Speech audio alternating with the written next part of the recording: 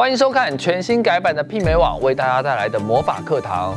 欧美人深邃的眼型呢，我相信是很多亚洲女生非常羡慕的。只要稍加技巧，就算亚洲人的眼睛呢，也能变得非常深邃、非常漂亮。跟着我们的达人一起学起来吧。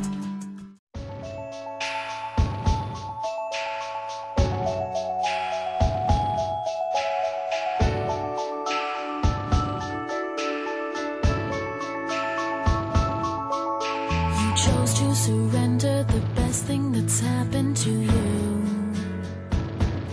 What were you missing? Were you just tripping?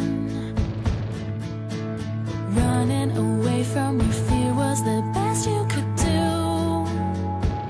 You made this decision, you chose our division.